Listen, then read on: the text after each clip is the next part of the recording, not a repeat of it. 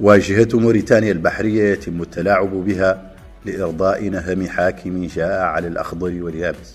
توسعة الميناء والتي بلغت 290 مليون دولار أي 87 مليار أوقية كلها ذهبت إلى جيوب الرئيس وزبانيته من الفاسدين. فتم التلاعب بالمعايير وسرقت التجهيزات وتم التغافل عن أبسط النور بدأ الأمر بخلاف مع الصينيين الذين كانوا يتولون مهمة تشييد الميناء. وذلك عند رفضهم تسليم الدليل الفني للرصيف الجديد.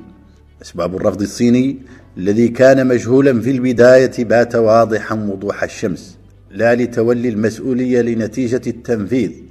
فالمشروع المنجز بعيد كل البعد عن المشروع المتفق عليه أصلا.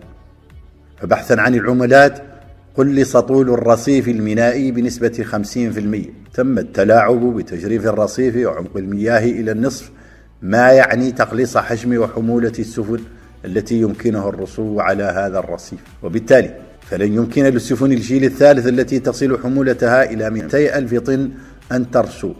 فالحمولة القصوى للميناء هي 35 ألف طن أقل عشر مرات مما كان متوقعا.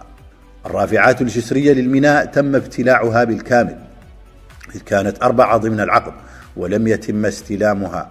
وبحسب التقرير فإن الميزانية المخصصة لها تصل إلى 25 مليون دولار. تقرير داخلي حول المشروع. أكد أن 90 مليون دولار على الأقل نهبت من ميزانية المشروع متحدثا أيضا عن تحويلات مالية ضخمة إلى حسابات في ماكاو.